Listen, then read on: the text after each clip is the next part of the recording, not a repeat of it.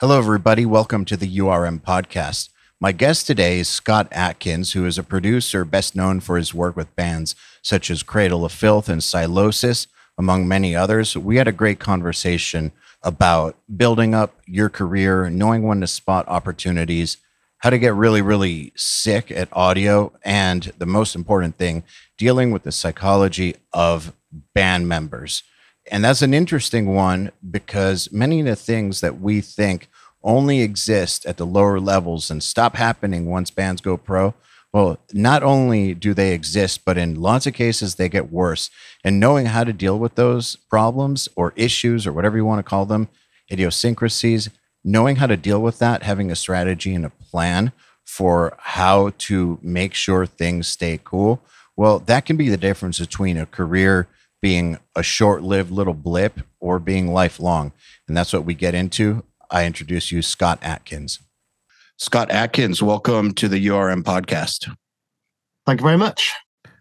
Glad to have you here. I'm a, I'm actually I'm a fan of your work and uh, I want to ask you something that I used to ask people at the beginning of podcast episodes, but um I haven't thought about it much lately. And in a conversation that you and I had before this, it got me thinking about it. And so I'm wondering what made you want to start producing metal, like specifically metal? Yeah, I, I, I guess I did. I never really started out to to want to do it. I, it kind of just happened. I played in a in a like a hardcore metal band. We formed in about '95, and almost very, very, very quickly, maybe within the first year or two, we got a deal. And immediately we were given money and it was like, go, go and record your songs. We went into the studio sort of every six months to a year, doing two or three tracks. And every time it was not really quite hitting the mark for me. So I was frustrated as a band member because it I wasn't hearing what I wanted to hear at the speakers, you know, and I always felt like I could lean over the guy you know, and no, no, it needs a little bit more of this, you know, and yeah, I, I guess it was just frustration really. Um, and I, I'd never planned to do it. In fact, I was I was following a career in architecture at the time, and it wasn't until we were making our third album with Andy Sneap, and I'd, I'd mentioned that I'd been frustrated, and and I always felt like I'd I'd wanted to sort of be more involved, and he just said, you know, why don't you get a mobile rig together and or a small rig that you can move around because you haven't got any premises. And I was like, can is that possible? You know, I didn't even realize that was a thing because computer recording had just mm-hmm. started mm. coming in. And he and he sent me some links and stuff over the internet. It's like you could get one of these, you could get this and flight case it. And I thought, maybe, you know, and I thought, well, if in a year I want to do this, maybe I'll do it then. And a year came by, and you know the band had been on tour and stuff, and yeah, I decided to buy the gear, and that was it really. In the late '90s, I know that he used to travel around and mobile record people. I believe yeah. he did one a, a Testament record that way, mm-hmm. recording mm-hmm. in their rehearsal space. Like mm-hmm. I'm almost yeah. positive that he did that. I forget which one, but in the late '90s.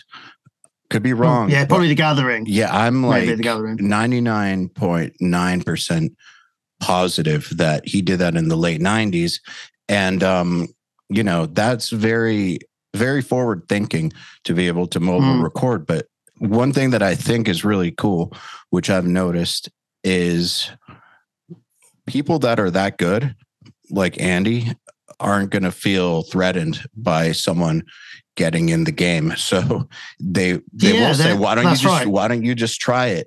As opposed to I've been around people and I've heard of people who you know the band member says that they're thinking about doing it or mm-hmm. you know expressing something where the logical conclusion is you should do it yeah, yeah. and they'll try to discourage them and i just i think it's interesting that when you're around people that are truly great like Andy, there's no reason for them to ever feel threatened by it. And so they usually tend to be very helpful.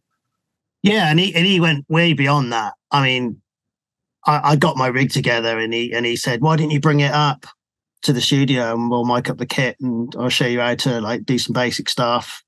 You know, and the first band I'd recorded, I I, I took the session and he showed me how to arrange it and you know put samples in and things. You know, he, he didn't need to do any of that.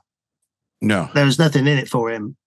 But I, I think he probably saw me as a as somebody who was in a similar role as he was in his band. You know, so so we we had a very sort of similar, you know, organizational role within our bands. We we was we're struggling against the tide a bit. I felt like we'd been in similar sh- shoes, really. So it, when he wanted wanted to help me, he knew it, he knew it was because I was genuinely interested and doing it for the right reasons. You know, to help bands rather than it being for my own ends, really. What do you think is a more realistic career? Uh, architecture, the way that you were pursuing it, or what you ended up doing? Like if you had if you had a kid that was choosing one or the other, hmm. which one would you say was the safer bet if you were advising your kid? Oh, definitely the architecture. Yeah, definitely.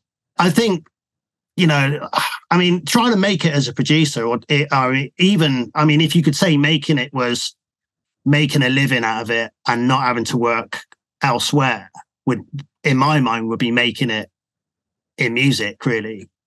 And I think, you know, you, there's no guarantee of getting paid, is there? Obviously, you know, the dream would be to get bigger bands and do great Metallica or Slayer or you know that, that, of that ilk. But for me, it was if I can carry on month by month making making it work, then I've won really. Because you know the time I I was making the transition from architecture, the band was that I'd been in. You know, we were a real underdog band. We never made any money or became like largely successful. But we just wanted to do it. You know, we didn't we didn't set out to be a big band. So it was really the same mindset of, well, we've worked really hard on this. It got so far along.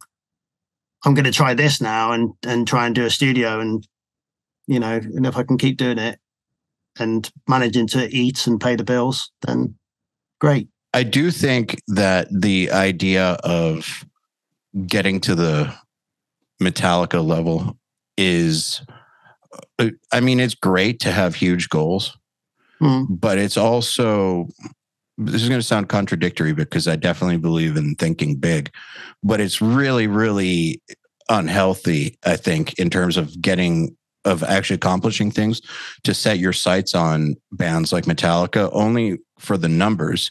There's like mm. one Metallica. So yeah. there's literally one person every few years who's going to be able to work on them out of out of everybody who works on bands and it, i mean it's cool to to dream about that but it's not uh, it's not very founded in reality of actually having a production career there's yeah. a whole industry out there of people who do you know not so well all the way to very well who don't work with Metallicas. And I, I think that you're absolutely right that because there is no security whatsoever in it, mm. that actually carving an existence, like a good existence, a respectable existence out of it is winning 100%. Super rare, actually. Yeah, I agree. And as I got a lot older, and the and the years started to go past in doing the doing the studio, they it's weird. Like there's a safety net of of a certain age where you think, well, this is this came to an end. If it only lasted five years, then I could go and study something else or go back to to architecture. And I'm I'm 50 now, and I think, oh, you know, the the roads run out for a, a potential career change. If it all went tits tomorrow, you know, you're kind of in a vulnerable position. I think, well, what else would I do? And I think really, you know, the plan B sort of gets left behind. When I started the studio, I never expected to be doing it this many years later on. You know, I started it in two, 2005 and it was only ever a short term thing. You know, maybe I'll be doing it in a year or two years. It's two less years I'll be, you know, in an office. which is a win. Um, but you know, that's nearly 18 years ago. So yeah, yeah. It, the thing though, the older you do get, the harder it is to change gears. And mm. I, and I do think that the longer you keep a plan B, the more uh, damaging it is because plan B, yeah. it's damaging because exactly what you just said about okay, so you get to 50, you you've been doing this. What if it all goes to shit? Then what? Career mm. change? That's crazy. And so you got to make the plan A so strong that it's not going to it's not going to go to shit. Uh, basically, it has to be about survival, in my opinion. Mm. It, yeah, I feel like humans are not motivated by good things. They're motivated by bad things. Um, they're motivated mm. by fear or fear. motivated by the worst possible outcome. And I think just keeping in mind that it's a house of cards, I think keeping that firmly in the center of someone's mind should be really, really good fuel for doing what needs to be done. Mm-hmm. Because it has been for yeah. me. Yeah, yeah, for sure. I, I, think there's there is a flip side to it as well. I mean, I, I've always worked as hard as possible and conscientiously as well. You know, I always want to do right by the bands. I, I understand how desperate they are to sort of make their next record the one that, you know, makes a mm-hmm. difference mm-hmm. to their career. And there has to be some balance. You know, my, my advice to anyone who's, who's listening to this who uh, wants to make it or at least make a go of doing production is you have to manage your your workload and the way you work in a way which enables you to carry on doing it in the long term. About seven years ago, I had a, I had a bit of a wobble uh, where I like started getting chest pains and dizzy spells. And I went to the doctors, and uh, and he said, um, you know, what do you do for a living? I said, I run a music studio and stuff. And he was like, right, okay. What sort of hours are you doing? And I was like, all of them. and, uh, and he and he he was like, "Do you love doing it?" And I said, "Yeah." He said, "Do you want to keep doing it?" I said, "Yeah, hundred percent." And he said, "You need to just work more sensibly with a better work life balance," which is not something I was doing. You know, I'd start at ten in the morning and three or four in the morning, and I'd still be. You know, nearly twenty four hours later, and it's amazing the drive that you'll find when you really invested in a project and you want it to be amazing and you you know you're up against the time and the band are sort of going to put everything into it but you got to remember a band is only making one album every sort of couple of years but you're making an album one after another you know? So their effort level is they're fresh aren't they? But you're you're you're not going to be as fresh as them. So you, you're you're trying to accommodate and match their energy level and make the project as good as possible, but ultimately you're going to get burnout, which is what I had. Yeah, not not just what you're saying, but also eh, there's nobody in the band who's going to be working on it every single day like you, right? So yeah, exactly. collectively, they might have a crazy amount of energy, but you know the drummer is going to do their parts and then they're done you need yeah. to keep going. So mm-hmm. pacing yourself just within the scope of one project, forget all the other ones, just to get through the one project, I think matters a lot that you pace yourself mm-hmm. properly. Yeah, for sure. And it's everything, you know, your whole life can go out the window because you want to get the, you know, especially if you're mixing. It's like you might have an engagement or something with your with your girlfriend or a family thing, or you know, you're gonna go out with all your mates. It's easy to suck it all off when your mix isn't quite getting there and the mastering's booked, or you're doing the mastering, or the deadline's tomorrow or the next day, or maybe next week, and you start plowing the hours in.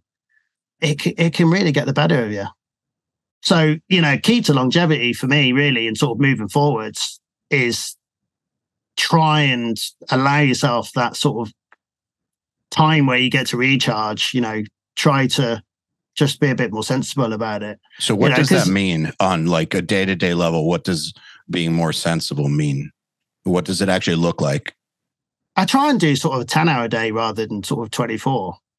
Try and take time at weekends as much as possible, you know, especially if you've got kids or a, or a girlfriend. And I'd say like music production is a classic sort of accommodating role where you're always going to try and meet the demands of the band and the client. They're like biking dogs. They're always going to want as much as you can give them. You know, especially if you're on a budget. If you're on a fixed budget for an album, if they can get, you know, extra weeks out of you in time during the same period, you know, they're winning, aren't they? And it's not it's not malicious. They, they just no, no, of course they just not. want the the best for their record. Yeah. I mean, it's great. We're making heavy metal, aren't we? It's brilliant. Yeah. Um, but you know, there comes a time when you can't keep doing that. And I think a lot of studios fail or people exit the business purely for that. You get, you know, they're sick of it or, you know, overworked, you know, managing it badly. So how do you how do you handle that without pissing the bands off? And I'm asking because I remember when I was producing bands that this was this was a problem for me in dealing with bands the trying to pace myself when they mm. Don't want to pace themselves and expect me not to pace myself then i would feel guilty about it or feel mm-hmm. like i was mm-hmm. doing something wrong yeah and i could i don't know if it was imagined or real but then i think that they were unhappy uh, and then this negative spiral so i guess what i'm wondering is how do you approach that with the bands so that it all stays cool while still respecting their you know their ambition and their drive yeah and that is that is a, a killer question really and i'm and i'm sure lots of people listening will will be interested in that because the spiral you're describing is in the past for me a reason that I've thought about shutting the studio down and getting out. You know, in maybe in the first decade when I was sort of finding my feet and dealing with bands. For me nowadays, I'm just upfront about it. You know, I just say, right, these are the hours. You work around that. You know, if you've got accommodation or you want to plan your meals and, you know, they're all staying together and stuff, you know, this is what we're doing. It's funny because since I've been working like that as well, everybody knows where they are. Where in the past we've started work in the morning and we had no idea what time we were going to finish. And some people aren't cut out for it in the band, and they're not really going to say, "Oh, it's getting on a bit," you know. Like no one wants to say that. They they might be really tired or they're hungry. You know, nobody stopped to eat. Everyone gets knackered, and you know, things can go a bit wayward. You can come in the next day and it's like, oh, those solos we did last night, they weren't really cutting it. What were we thinking? Three in the morning. yeah. So nowadays, you know, everybody knows what time we start, what time we're finishing. It's heads down, hard graft. We're done. That's it. Go separate ways. Maybe we'll go for dinner. That's it. There's a lot of studies about this subject about reading a book called Deep Work right now, mm. and it's something that I've I've studied and thought about a lot and looked at what other people have to say about it. But there's a lot of thinking about the idea that both willpower and creativity are finite resources. Um, and oh, yeah. it's it, some people think that willpower is not a finite resource, but just that it's finite towards one thing. So you can uh, some there's one school of thought that is that says that you can have as much willpower as you want throughout the day as long as you keep changing your focus. And then there's other people who think that uh, willpower is a finite resource that you recharge when you go to sleep. But the point is that the leading thinkers all think that no matter what, you're not going to be able to do the same thing indefinitely without losing steam. And so, mm. knowing that, it, it's important to structure uh, structure the day, in my opinion, to where uh, the best hours are spent working, and then you're not uh, trying to do that important work once you're once you're past your ability to do the best important work Mm, yeah, that's totally true. I mean, everybody, you know, drummers, vocalists, especially, they're not gonna, they, they don't have 10, 12 hours in them. No. Generally, you know, obviously, you know, so, but they might want to have, no, no, I could do Yes. more, I can do more. And you're like, you know what? Earlier on, the snares were in the red clipping, like, you know, and now, like, we're barely halfway up the meter. No, no, I can hit harder. I was like, you, you're going to injure yourself. You know, no one wants to hear, you know, you passed your best. It's a weird, it's a weird thing. It is. And also think about who you're dealing with, right? So you're dealing with a metal drummer who's really great. Think about the personality type it takes to become a great metal drummer. Mm, It's almost like being a top athlete uh, combined Yeah. with it is. combined with being like a mathematical thinker. It's it's a weird, it's a weird, highly charged uh, personality type, and so that thing that gets them to be a great drummer is that same thing that is Mm. going to make them not want to stop. And I mean, that's kind of why you've been hired to lead lead the way. Yeah, I, I, I do think it's unfortunately it's it's something that is really common with drummers, and almost all the injuries I've ever seen a drummer really get it's it's at the end of a session when they've lost that sort of real focus and that Mhm. control. And it could be something stupid, you know. They they they catch the edge of the cymbal on the on the knuckles or something, or you know they they they sprain the forearm muscle during the ride or something, and the next day they can't play. Like we, start two hours earlier when I said you've got ten hours more drumming today, or you know a whole day or whatever it is. So yeah, there's been lots of I told you so's, Yeah, but it- no one wants to hear that, do they? No. So how do you? So let me understand what you're saying. So it all works better for you now that you're just upfront about it and set the boundaries clearly going in. Yeah, because I, I just think too many bands have seen the Black Album. You know, it's in the middle of the night. You know, everyone's having such a great time because it's four in the morning, and they want they think that's part of the part of the dream. You know, especially the the the younger bands, the ones who sort of haven't really sort of set off down the down the road that's sort of taken all the all the fun out of it and ruined ruined the dream. You know, they they you know they're eager, and it's great to have young bands in who who don't have studio experience, but they're the ones who more so than the you know the band on their fifteenth album are wanting to be a in the studio all night. And the thing with those documentaries too is like Black Album one, that was a nine month process condensed into a two hour video. So Yeah. you're not, you didn't really see the actual session. You're just seeing Exactly. some funny clips out of nine months. So there's no way to actually know what their schedule really was, whether or not you're seeing like, you know, the once in a while nights or just the once in a blue moon. Mhm. Like that's super unclear in that documentary in particular. They did a really great job editing it to make it seem a certain way, but I'm sure reality is very different than what's portrayed on that video. Oh yeah, cool. I mean, definitely, yeah. But it does it doesn't change the fact that you know bands buy into that sort of romantic Yes. sort of relationship with the with the with the studio and doing all the hours. And I think another problem is most bands have jobs. They're on a finite window. They've booked it off work or whatever, you know. And of course, they haven't rehearsed their parts properly, and they you know they had some of the some of the parts they've never played before because they, no bands rehearse anymore. So like you know they're all coming in. They're like, "Oh, you've got the tab for the parts," and you know like, I'm like, "Hey, those those days you took off of work, you need to double them." And then the pressure's on me, isn't it? It's like, "Oh, do I have to do a couple of more extra hours here because you can't get any more time off work?" Um, you know that stuff never goes away. You know, and some some of the more established bands, you know, everybody's busy. Even if you're in a professional touring band, when they're not on tour, they're doing stuff. So then they've got to get time away from that. So it doesn't matter whether it's that or a job.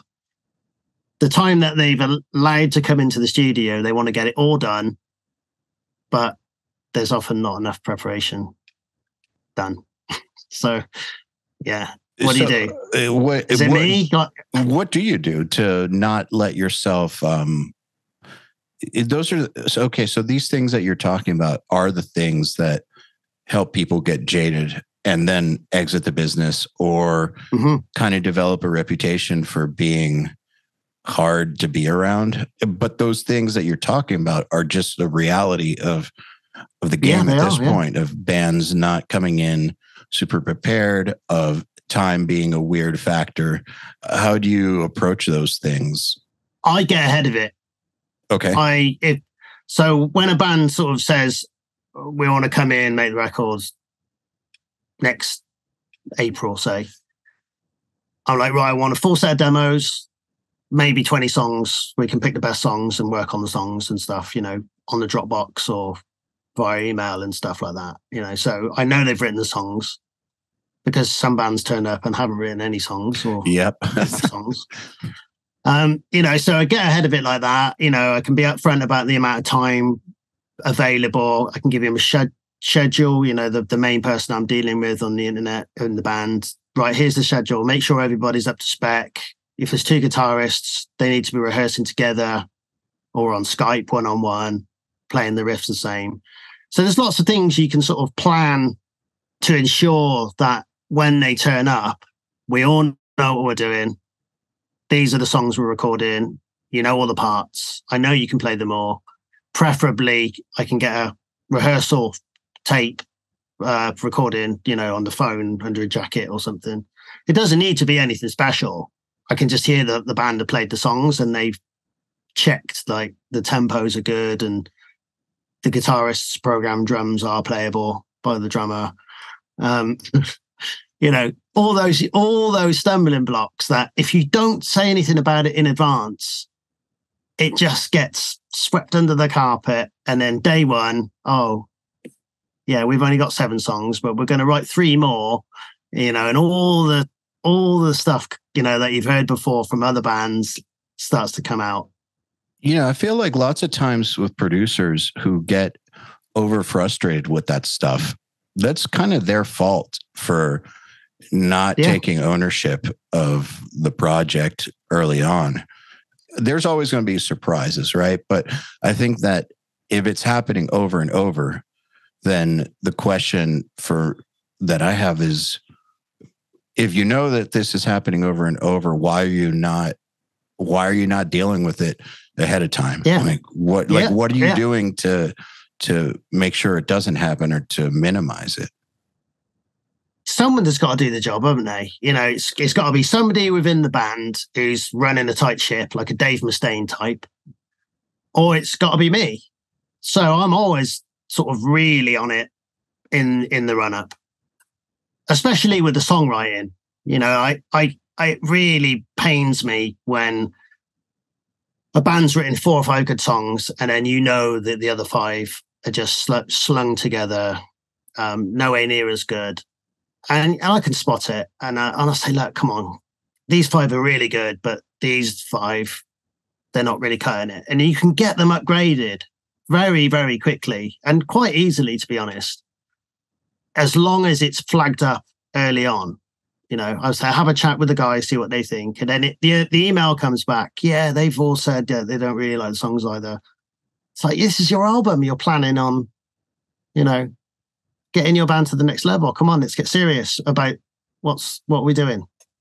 sometimes or lots of times you just need someone outside to point something out i mean that's the whole reason that coaches exist and Yeah. you know mentors or bosses or uh, leaders is just because stuff like that where they might know that out of the 10 songs five are good five are eh not so good but for whatever reason, it's not like they're okay with bad songs, but they might not be fully internalizing how far off those songs are or Mm.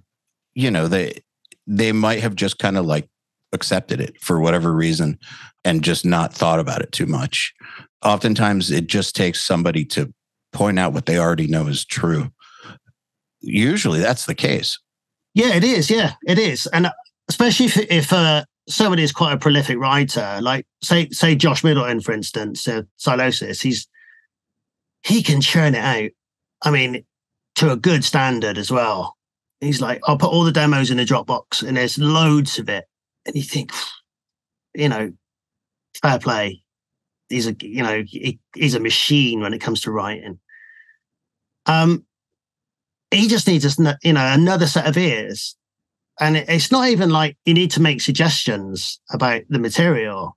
You can say, I think you're repeating yourself a bit there, or this this is seems a bit not not really suiting for the band, or this song doesn't seem to have a chorus someone like him can take it on board. He can digest what you've written, or we have a Skype meeting or whatever. And then all of a sudden, everything's gone up another 15% in a week. And it's just having, it, it's giving him the ability to sort of have a fresh perspective on what he's written. You know, it's almost like, you know, you've got a bit of tunnel vision and then you've helped widen the way he's looking at his material. Um, so yeah, just I mean, as a producer, that's kind of what you want to bring to the party, really, isn't it? A band have written some songs, and you can say these ones aren't as good as these ones. These ones, they really sound like you grown up a bit from your last record, and try and get them to look at it uh, like that, really. And maybe that's what Rick Rubin did with Metallica. You know, I mean, they they made a big deal about him getting them to look backwards, but like not try and copy what they've done in the past, but sort of have a, new perspective on, on what it is they're trying to achieve and, and what they've written. Yeah. So whenever a band sends me stuff like 10, 15 tracks and they're going to record an album, it's it's great to be able to say, these are the weak ones, these are the strong ones. We need a bit more of this it's very mid tempo. How about a few fast ones? You know, they're like, oh yeah, yeah, we, we really think about that. It gets the project moving, gets everyone toeing the line. So when they come into the studio, we're we all know what we're going to be doing. Yeah, man, I can tell you from my perspective as an artist that lots of times when collaborating with someone, what I'm really looking for is them to just say that thing that that like helps the light bulb turn on for me.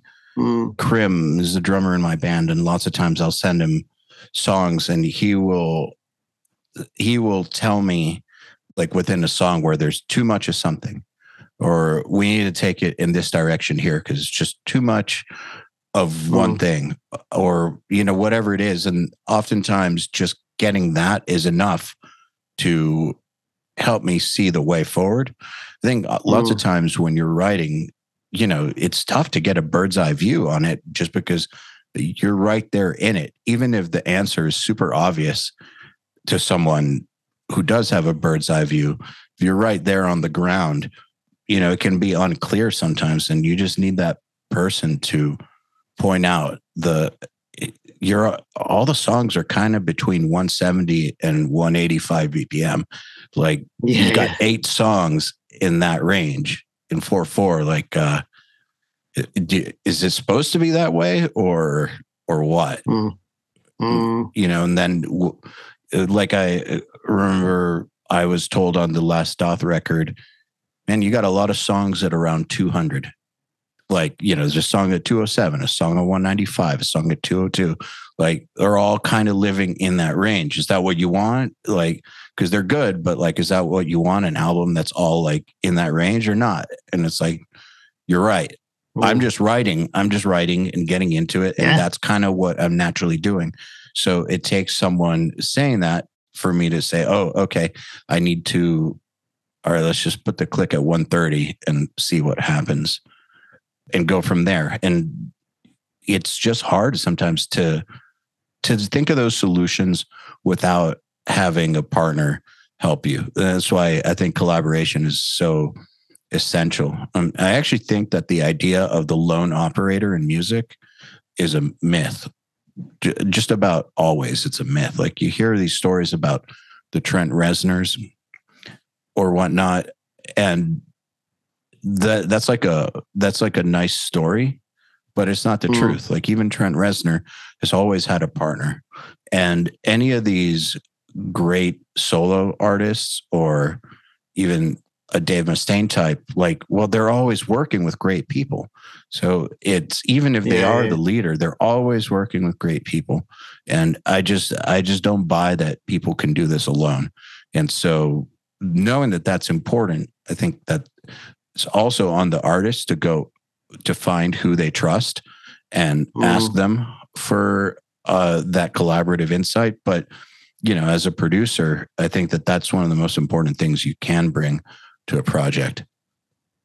Yeah, definitely. And I I do worry about metal uh, actually because I think you know there's there's lots of really great software tools now where you kind of don't need the bassist or the drummer, especially if you're a guitarist. Um, you can put a, a a basic demo package together on your laptop. It can be a bands can become a one man band.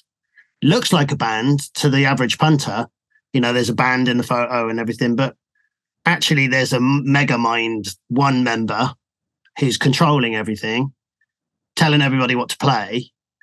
And then obviously at some point the album's made, but nobody really knows that it's not Not That- a band. it's yeah, it's not a band. There's no accidental riff writing, you know, in the rehearsal room. It's like, oh, what what were you playing there? It's like, oh, this. It's like, yeah, that's amazing, you know, and they all start jamming in, and it's amazing. But there's ways. So You know, that's is that old school? I don't know. I know, I know things have moved yes, on, and, but yes, surely and, yes and no. It's old school, yes, that's but the, a great thing. yes and no. So, like, I agree with you, but then also the idea that bands will get back into the rehearsal space, I think that's wishful thinking just because the reality is that so many bands are not geographically together like they used to be. So, in the old days, Yeah, yeah. bands formed based on who was around them. But that's not Mhm. that's not a thing anymore. Like if you my band right now, two members are in Austria. I'm in Milwaukee. One person's in Austin, Texas. Another person's in Atlanta. Another person's in Boston. So it could very easily go in that direction you're talking about, where I just write every single thing and I tell everybody what to play. And I know there's lots Mm. of bands like that. Uh, So knowing that, uh, I think you have to try. You have to try to get the those accidental riffs, or you have to make more of an effort to uh, to have it be more of a band album or a band creation, because it could super easily go into the one man the one man show. And i think that it usually won't be as good as it could be. But the idea of a band getting back in the rehearsal space like i just don't i just don't think that that's reality just because of the way that bands are these days man. Like metal blade was telling me the other day because we're trying to plan music videos that it's now the norm for them to be arranging for photo shoots and music videos for the bands on the label to everything for the album to be done in one felt swoop because nobody lives in the same town, let alone the same country anymore. That's the norm Yeah. now. Yeah, yeah. The same. It's the same for Cradle. You know, they keyboardist, guitarist in in uh, Arizona around there, uh, drummer, guitarist in Czech Republic, Danny in in England, bassist in Scotland. So yeah, same thing. But you know, videos. We need all the photo shoot doing. What else can we do whilst everybody's flown in? Everything's got to be coordinated to that. I mean, you know, it, maybe it's always going to be like that because you can hand pick from anywhere in the world the perfect member for your band. Where, like in the eighties, that was just impossible. Know, Yeah, you can man. It was it, well, I was I was doing it in the nineties, but like it was it was rough. Even in the two thousands, it was rough, man. Trying to find great members. Mm, Now it's still hard, but you can I can go to across the world and find the perfect lead guitar player for the project.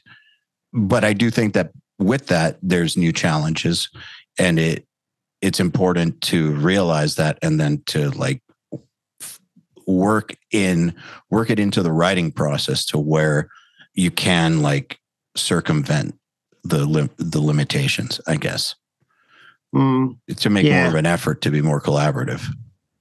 Yeah, for sure. I, and I wonder, you know, like because you're not a gang, you almost have to make effort in different ways to sort of keep the lineup together, I guess. Because like back back when I did my band, we all lived within 20 miles of each other. Mhm. So rehearsal was sort of a social gathering, like hey, hang out, talked about movies and like new albums and stuff. You know, we'd sit in the car and listen to new stuff when we were having a break or go to the pub, have a few drinks um yeah we were like a gang really. And and that was like the the core of the of the band. It was it was really about that. And the band being a band was secondary you know because we were good friends. We were all into the same stuff. So we were always together. Like they worked hand in hand if you know what i mean. It was like we're we're a, a gang a band that played music together. So when we were on tour and stuff it was just an extension of that where I guess if you get people that you don't know into your band from different countries, you got to be very lucky, I guess, to to get that on the roads. Yeah, I mean, I've never met some of the people in my band. Exactly. Yeah, Yeah. It's, it's it's a strange one, isn't it? It is because it, the way that you're describing the band is the way that I kind of grew up too. Is Hmm. you guys against the world? Yeah. And even though, like, even though for me it was always just music and band first, still, it was still very much a social thing and very much like a brotherhood thing, very much Mhm. like uh like this was your squad.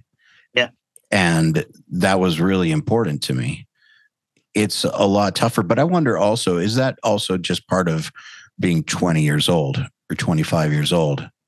Probably, yeah. I, I I do think if you know, I was looking back over the sort of back to when I started the studio, and I was in my really early thirties then, and I I'd we'd already done ten years of sort of transit van, like not even seats in a minibus. It was on the on the plywood in the back in the dark, driving thousands of miles around Europe as a you know as a load of lads with all the gear, and it was like, yeah, no, we're gonna, you know, we're gonna take over the world, and you know, it was us against the world basically. And at the end of of the band, I I'd had I was pretty sick of doing it to be honest, and I would never form a band now and and and go back to that. So yeah, part part of it is the age. But saying that, when I started the studio with a mobile rig, it it really was very similar to to how it was when it started the band. So I was sleeping on the floor in the rehearsal rooms or like crashing at people's houses on the floor in sleeping bags, you know, lumping gear uh, in the car. You know, the mobile rig was it wasn't tiny, but it was it was it filled all the seats, including the passenger seat in the front. Yeah, so if I'd started the studio any later, I, I just don't think I would have started it like that. Makes You know, sense. A, a year of that was draining. Yeah, it was it was tough, you know. But if somebody hadn't been in a band doing something like that, would probably seem quite quite alien. I think, you know, to to to sort of start hanging out with bands in that capacity. You know, I was so used to it that it just it was just an extension of what I'd already been doing. Yeah, I, I, there's a lot of benefit, I think, to having done it yourself. Mm. You know, easier for everything to be relatable, easier to communicate. I think. Um, I'm curious about your work with Cradle of Filth, actually. Um, Mhm. Just to change topics, you, you uh, you've been working with them for a while. It's a band that's been around forever. They've had ups and downs. Like they've been one of the most popular bands on earth to where their popularity started to fade. Then they've come back. Like they they've had quite the career. Several iconic lineups. Like it's they're kind of basically everything you can think of that a successful metal band would have uh, experienced. They've probably experienced at some point. Yeah, And yet you've been working with them a lot, a long time. And yeah, long time. Yeah. So what I'm curious about is how have you approached, I guess, keeping the relationship going through all their changes? Like, how have you stayed right there with them? Um, because lots of times what happens when a band goes through changes is one of the first things to go is the producer, especially if Yeah. they've been working with the Yeah. producer for a while. I think I think it's down to my relationship with Danny, to be honest. I just think it's just we're just mates, really. And there's a trust issue there, uh, or a, a trust element there. That's you know, we just we see eye to eye on almost everything. Uh, uh, you know, to do with the band, the songs. We don't really have a clash of opinion. So if I say this, this needs to be better, he's like, yeah, yeah, I agree, hundred percent. You know, so we tend to sort of get things lifted up and and it's also quite difficult to organize the band members because obviously it goes back to the internet and and everything so i think we just have a shared vision of where we see the band and then we the, the conversations we have are all are usually about sort of getting everything for the next project or whatever to sort of toe that line and then sort of saying the right things to the band members to get the songs written in a certain way. So it really, yeah, it really starts with the relationship that I have with Dan and where we see the band going next. Um, Dan lives very close to me, like 15 minute drive, so it's it's easy for us to stay in touch. We can see each other. Uh, he can come, just come to the studio, and it's it's easy for us to put a plan together. So you know, if there's a new album in the works, we can go through the Dropbox together and figure out where we want to take the band really. So even if you change guitarists or keyboard player or whatever, the consistent thing is that me and Dan are sort of working together in a in a way which is sort of solid and it's well thought out, you know, for what's going to come next. But that's the thing that is interesting about Cradle of Filth and lots of bands where they've gone through lineup changes is when a band go through goes through lineup changes and also they have a long career to go through different evolutions but yet they still sound like that band that's always mm. interesting because you know from lots of times fans associate like when a member leaves a band fans will get sad about it but then the next album still sounds like that band. Mm. And I wonder if fans think about why that is. Is it like because kind of like with you brought up the Dave Mustaine example? It's like, okay, so to me, th- what that means is it's super clear that the, and I'm sure this is clear to everybody, but like the Megadeth universe like he is the center of the Megadeth universe and the artistic mm-hmm. vision, and he always has been. And he's always had great people to help uh, fulfill that vision. But even without them, that vision is his. It's his, and it's and that's why every Megadeth album sounds like Megadeth. It's why mm-hmm. every Cradle of Filth album sounds like Cradle of Filth, regardless of who's in the band and regardless of what what direction it's going in.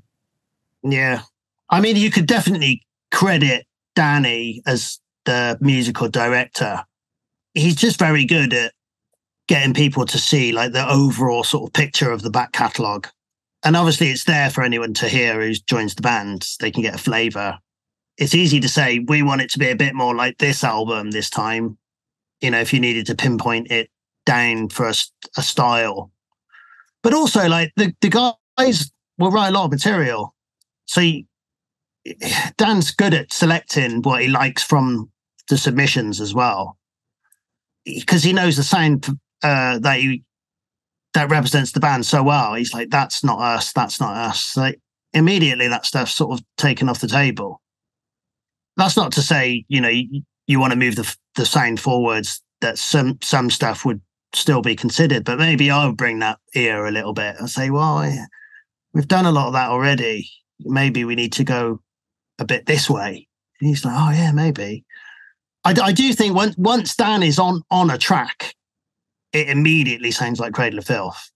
And there's a certain sound to like cradle cradle keyboards that um, you know as soon as they're on as well you know from from building a mix from from the kick upwards there's certain stages where it suddenly sounds like cradle of filth more than it would have done if it hadn't been sort of directed by dan if you know what i mean yeah you quite know hard to explain well they have signature elements so i Yeah. think part of your job is to make sure that those signature elements are you know doing their job. I, I think lots of times i'm curious your experience with this.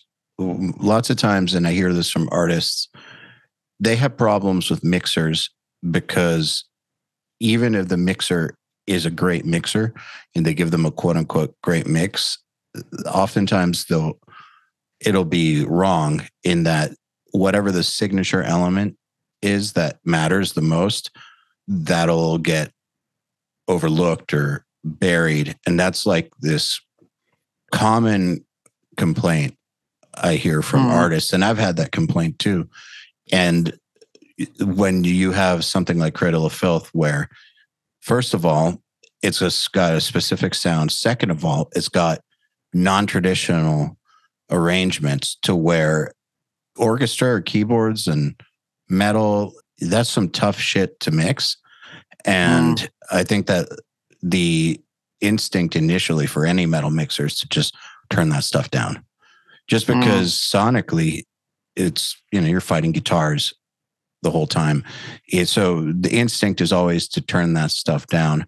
So what i'm wondering for you is when you do get an artist with very specific sound in non-traditional arrangements um, are you looking to the artist to direct you at all? Or like how do you make sure that you understand exactly not just what it needs to be to sound proper but like to sound like them? That is the holy grail though of of being a good mixer. And it's i i'd struggle with it. Maybe not so much with cradle but imagine i've sent off the masters i've just finished a cradle album and then i've got another album to mix by someone else and it's like i could make it sound like them be you know to cobble the mix together quickly or you've got to dig really deep. It's like what what does the band need to sound like? You know what what is it that you are going to latch onto? Sneap's amazing at it. You know he can work with Priest, and it sounds like Priest. He knows what priests need. Testament, it's he brings out the band, and that's what I've learned from Andy is what is the band about? what are you trying to say with the mix? You know, it's, it's so hard to explain, but it is like sculpting their identity more into the sound. It's like a guitar tone. Like you sit with a guitarist and you need to know what the band sounds like to get the tone. You Mhm. can't just choose any tone for the just because the guitarist likes it. You know, it's you've got to be thinking about the band. I, I worked with Andy on Amon Amarth about 10 years ago, and they've got a really specific tone. You know, but it's all based around how how deep and low the, the singer's voices, right? So everything like they're in A and it's really robust and thick and heavy. And uh, yeah, I saw Andy work the tone for the projects, and it was really, it was so interesting because it comes down to that, like fitting the sounds and the the style of the band, and you know, you'll be thinking about the logo and the way they look, and everything is their sound, you know. And when you mix for it, it it needs to tie together, doesn't it? You can't just have any mix, you know. You you if you tried to put like a Hatebreed mix on Cradle, it just wouldn't work, would it? It's terrible. No, it wouldn't work at all. Um, do you think that that requires understanding the back catalog at all? Yeah, I do. I do think you need to do research. I I do research for bands. There's a band I, I work with called Benediction. They've been around forever Oh, yeah. in, in the UK, and um, they they did an album called Grind Bastard in the uh, sort of mid '90s. It was kind of like held as their best record, and it is a great record. It's got a real sound. But then they they made a couple of albums since with like different people and cobbled it together with different singer, and it they totally lost the sound. And then I did an album with them, and we I wanted to go back to that sound, so I had to really research that stage of their career and you know what makes them sound like that on that record and try and sort of reverse engineer it because that's what they wanted as well you know they were like that's when we were there you know sounding our best. That's our identity is on that record. We need that blueprint on this record. Um so yeah you definitely need to do the research.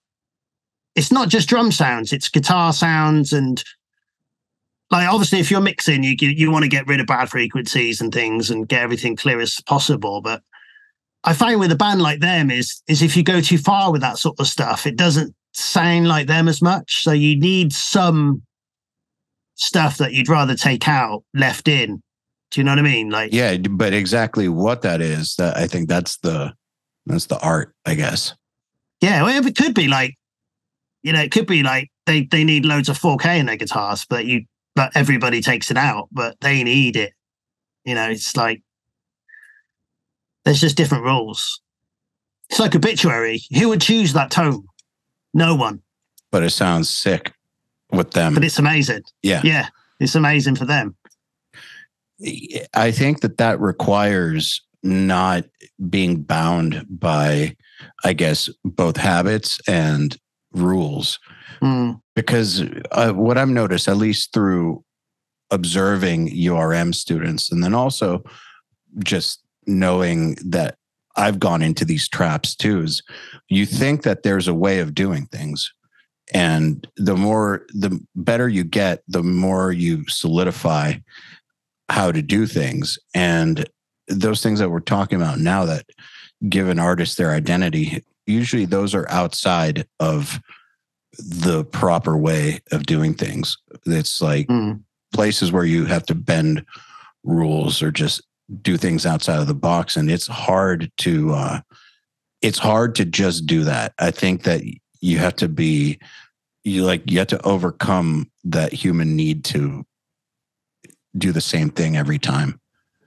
Yeah, it's so difficult though, especially if you're up against the clock. You, know what works, right? You you know that if you use this plugin with this EQ on it for bass, it's always going to sound good. Mhm. Those drum samples that you've used before, you've already got like EQs and stuff dialed in for those. You could just throw those in, that would be all right. This guitar sounds a good tone, so we could just use that. But that isn't necessarily going to be right for the band, is it? I, I'd say it, that the hardest time that I have when I'm sort of trying to fit sounds to bands is when I when the band has got no discography at all, like they're a new band or they're local band and they're all you know they're starting their journey. You kind of have to grill them. Like I'll be setting the drum kit up and setting the mics up and the stands, and I'll be talking to the band like the whole time about what they grew up on, where they see the band going, what sort of bands would they would be good to tour with, where do they see the band? You know, because not necessarily all the members in the band would share the vision. So you kind of, I mean, I've got to get an idea from somewhere. So you kind of have to sort of do some homework, whether it's discography or through the band members. Because if you don't do that, what like then you're kind of inventing their sound for them. Yeah, and that's based on what? It's got to be based on something, isn't it? Yeah. If somebody in the band who wrote all the songs is really into Alice Cooper, that might be enough to. It would, it would certainly give you some idea of where he's coming from. Maybe you know, I guess it's kind of like being a detective.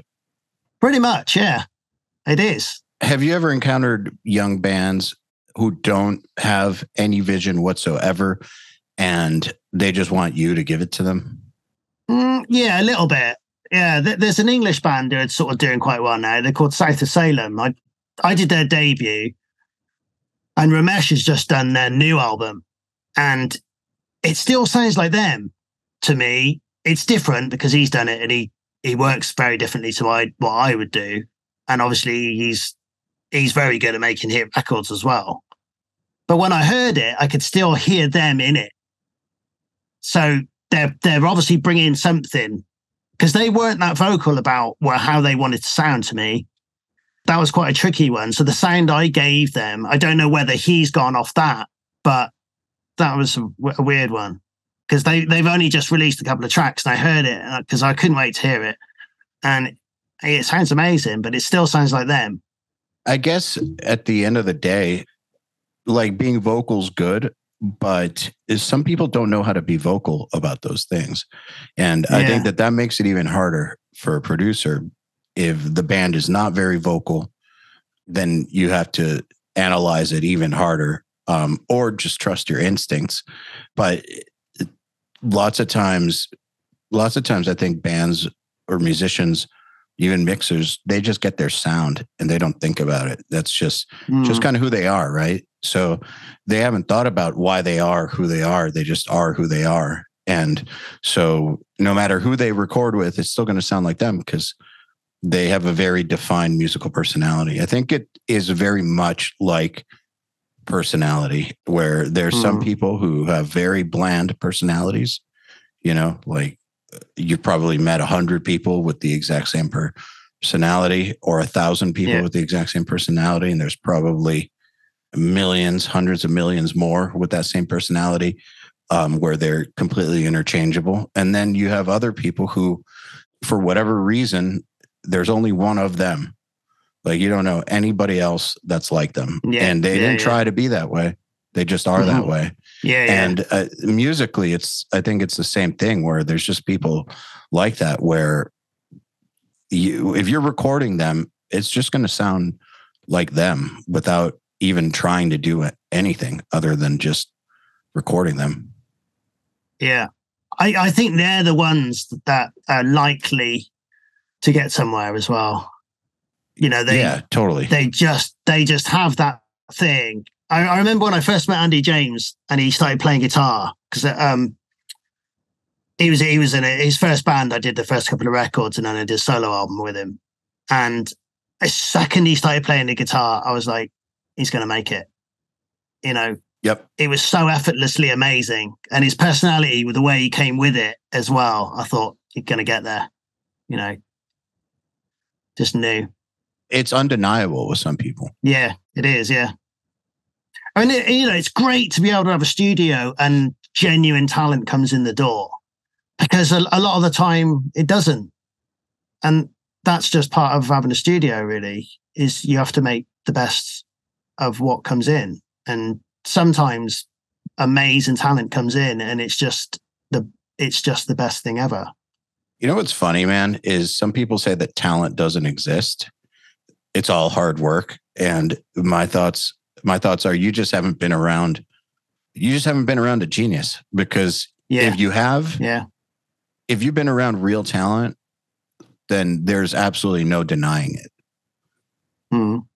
they have a, a way in which they see the world as well it's different to um to someone who's sort of trying to spin all the plates of life they mm-hmm. they are like well this is what i do and i'm going to try and do this and survive.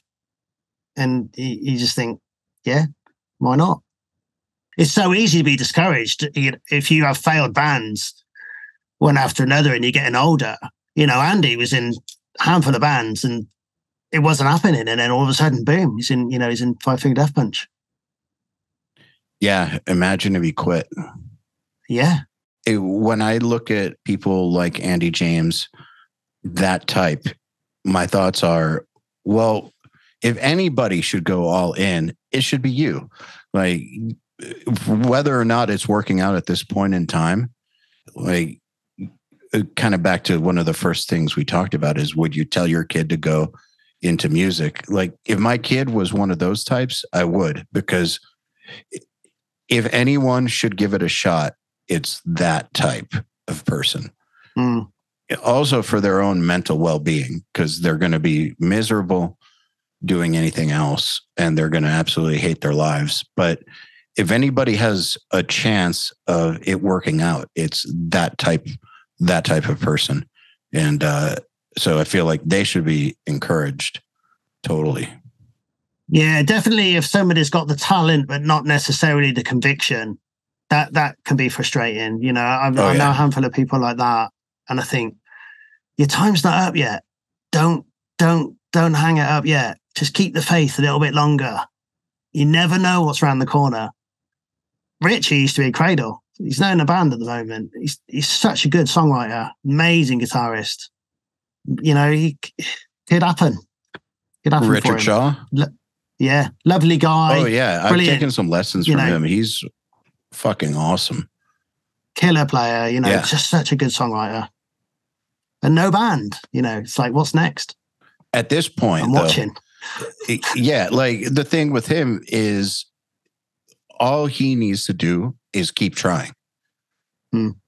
In Yeah. my opinion, like uh, I I know that like things can seem dark, but I know full well because I took lessons from him how good he is, and I just paid attention to what I know were his contributions on that Cradle record Hmm. just because it's super obvious. That dude is good, and uh, all he needs to do is keep putting himself out there. Yeah. Yeah. I mean, that's all anyone can do, isn't it? But you know, it's like it's just painful when when you see somebody who's that good, and it's like you just got to get the right gig. You know, I'm cheering him from the from the sidelines all the time. Yeah, but then when you do see someone get that gig, like Jeff Loomis, um, finally landing an arch enemy. Yeah, And I know that he, you know, he had Nevermore, but like there was a long period of time there where his career was not doing too great. yeah, yeah. one of the best guitar players on the planet, one of the best guitar players in metal history. And then after Nevermore, it's like, well, what's happening? Like he did some solo stuff, he did Conquering Dystopia, and like there's always a core fan base for him, but like never anything that was, I guess, on par with his talent level and ability Mhm. level, like something appropriate for someone of his ability or you know what he represents i guess but then eventually in his mid to late 40s arch enemy happens and there you go Yeah. I mean, you know, for years, Sylosis sort of on this sort of like level plateau. They weren't really hitting a mark. And then Josh got in in architects. And I thought, well earned, you know, really put some years in in architects. He's, you know, he's obviously out of the band now, but that that put him on the map. And now he's doing Sylosis again. And Sylosis is really doing well now, you know, on a really good tour at the moment. The album's great. So yeah, it's gonna be, you know, sometimes it's like this and then that big step up and you're away. Yeah. So totally you just it's like you say, you know, you gotta be a survivor. Um, and you just need that optimism and faith, really. absolutely Because you know, if you if you do rely on plan B too much, there is no plan A, is there? no no exactly well scott i think this is a good place to end it i think that's a perfect full circle on the episode but uh, i want to thank you very much for taking the time to hang out it's been a been a pleasure yeah, yeah, appreciate the uh, the opportunity to put the world to rights. Anytime, mixing man. world and music world. yeah anytime man. Thank you so much. Thank you, nice one, mate.